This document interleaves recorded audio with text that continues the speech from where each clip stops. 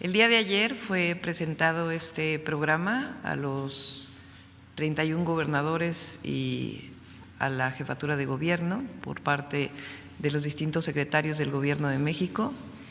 Nos parece muy acertado este esquema de semáforos, en donde, de acuerdo con la población, cómo va creciendo la epidemia, cuánto número de hospitalizados hay, si va subiendo o si va bajando, cambiará el semáforo para poder desarrollar las distintas actividades sociales, económicas, educativas y regresar a la nueva normalidad.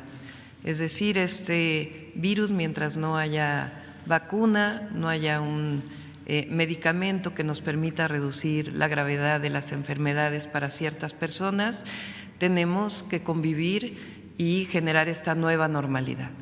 Pero al mismo tiempo no pensar que vamos a estar encerrados toda la vida.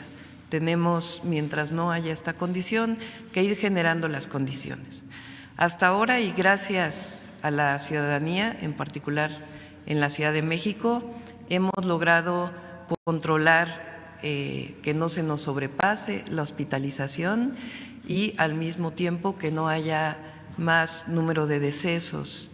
Somos parte de una zona metropolitana, 22 millones de habitantes, 16 alcaldías, 57 municipios conurbados.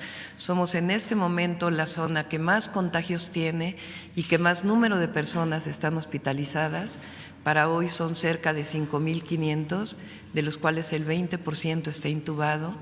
Y esta situación en donde no se ha sobrepasado la capacidad hospitalaria es gracias a la ciudadanía, gracias al trabajo que se ha hecho de prevención, de sana distancia, de quedarnos en casa.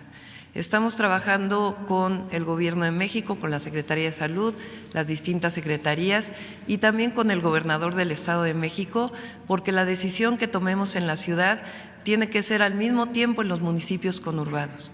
Ustedes saben que somos un continuo urbano y que no tendría sentido que Iztapalapa tuviera una manera de regresar a la normalidad y Nezahualcóyotl tuviera otra cuando solo nos divide una avenida. Entonces, estamos trabajando en este proceso.